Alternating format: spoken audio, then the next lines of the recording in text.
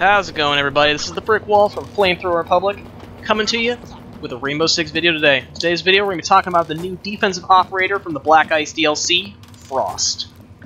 Now, Frost's special gadget, as you can see in the background video here, is this bear trap-looking thing that's called a welcome mat.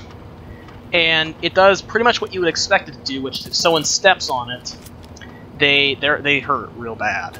They, uh, in this particular case, in PvP, they will go into the down but not out mode, where they need to be revived by a teammate. And in Terrorist Hunt, the terrorists will just straight up die. And so, I mean, they're not... I remember when, when we were speculating about what this would be like before the operators actually came out, everyone thought it was going to be just god tier overpowered. And I don't think it is, for some reasons I'll get into a little later. But I think we should go into what I like about Frost first. So the first thing is her SMG.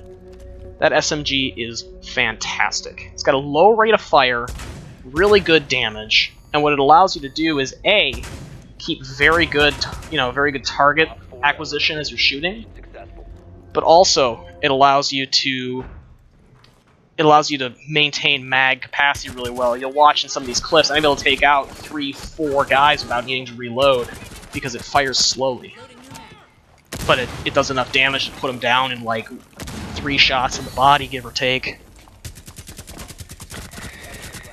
And you know, I mean, her bear trap is both a pro and a con. You'll see here in this upcoming clip, this is a custom match, and we're testing this out against Fuse, who's a max armor character. And so, you know, put down the bear trap and let Fuse walk over to it, you'll see it kills him.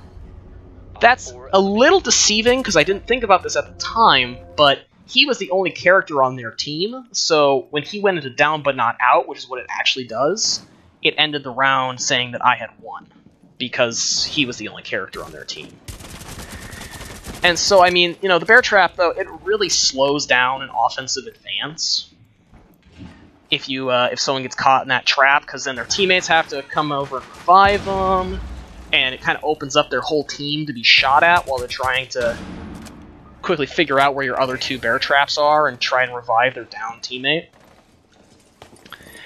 But there's one glaring thing that I find wrong with Frost's loadout that keeps her from being, like, you know, better, significantly better, and that's that her kit has no barbed wire. If she had had barbed wire, you could have put the barbed wire over the trap, which would kind of disguised its appearance, similar to what you're seeing right now. Well, that's a lot easier. It's a lot harder to see. But, I mean, she doesn't have barbed wire, so you pretty much have to have your team with barbed wire helping you out in order for Frost to be at her full effectiveness. And, you know, the other thing I said earlier about how this was meant to, be, this was going to be, like, god tier.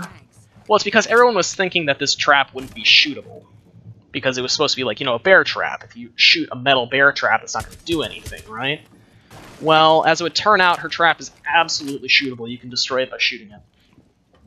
Which I find takes down the effectiveness quite a bit, because if you're looking where you're stepping, it's really very obvious that this is on the floor. I mean, where she ends up shining is that it's harder to find in the heat of battle. If you're, say, watching a door and you're kind of strafing from side to side, you may not see it. Like you'll see in a clip later in the video.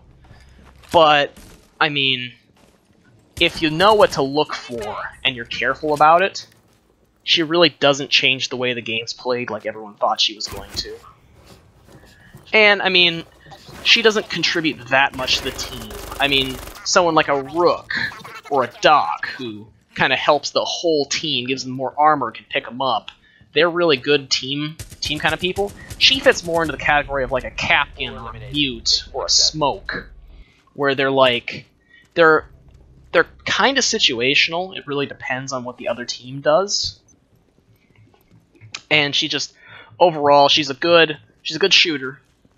You know, she's got a good good good gun for shooting but just doesn't really contribute that much. You saw that Nitro Cell there. She's actually kind of an offensive defender kind of person, similar to what I even think Jaeger is like, where you're better off just roaming Frost.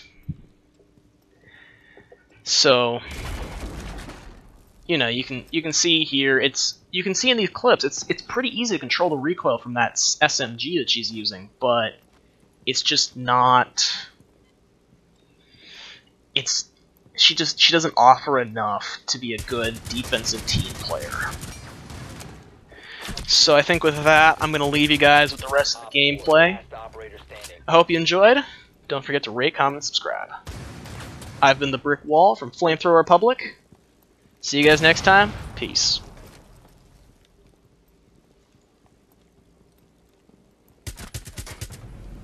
Op 4 eliminated.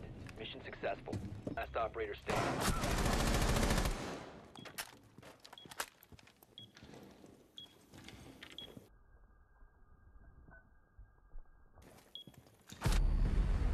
Op 4 eliminated all friendlies.